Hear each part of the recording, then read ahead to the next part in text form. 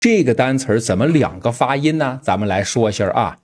首先，第一个读法读作重读在低音节，读作 present，present，这是用的使用频率最高的。一会儿咱们说意思啊。第二个是重读，从第二音节开始读成 present，present，做动词使用。来看，present 作为名词来说，就是礼物。啊，礼物作为名词还可以叫现在，我们经常说 at present 等于 now，是吧？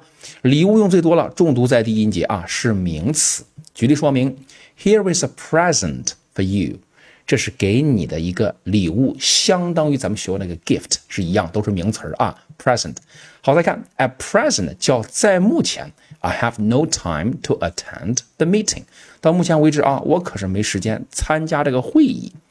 present。礼物和目前名词，而 present 同学们是动词，叫呈现和出示，就给给别人展示一下什么东西的过程，就叫 present。记住啊，重读在第二音节。举例说明：I'll present my findings to the team tomorrow。我将明天展示我的发现，朝向团队面，就是明天给团队说一下我的新发现。作为动词 present。在过海关时，你必须出示你的护照，不就展示你的护照吗？You have to present your passport as you go through customs。当你过海关时，你不得不展示。同学们，为什么 present 还作为动词叫展示呢？因为礼物是用来干啥？同学们，是不是来？哎，看看我给你买了个东西啊！哎，这感觉，这个想想啊，为什么动词叫做展示，而名词叫礼物？好好想想啊。好，同学们觉得好的，请打一。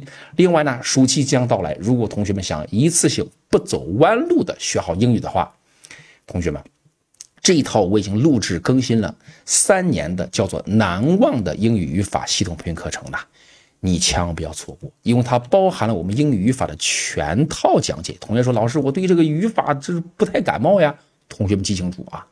语法是英语学习项目当中唯一一项让你能够举一反百学会英语的方式和方法。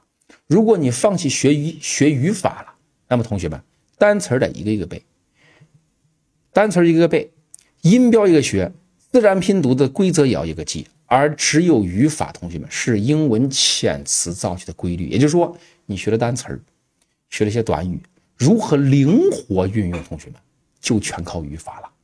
这语法呢，包含两大部分，其中前九十七个视频章节给同学们讲的是英语的全套语法，你所知道的和不知道的全包含。那么后边有两百多节是什么呢？全是复习、贯彻落实咱们前面讲的核心内容。后边是咱们呀什么呀？让同学们练习带以练习的课程。所以说有三百多节课学习咱们这个全套的语法。记住，语法说白就是什么？英文遣词造句的规律，你不会规律，同学们，那你说你背那些单词儿，你怎么把它根据不同场景、场合、场面来揉到一块儿呢？对不对？好，下边商品卡可以直接购买。好，同学们，感谢观看。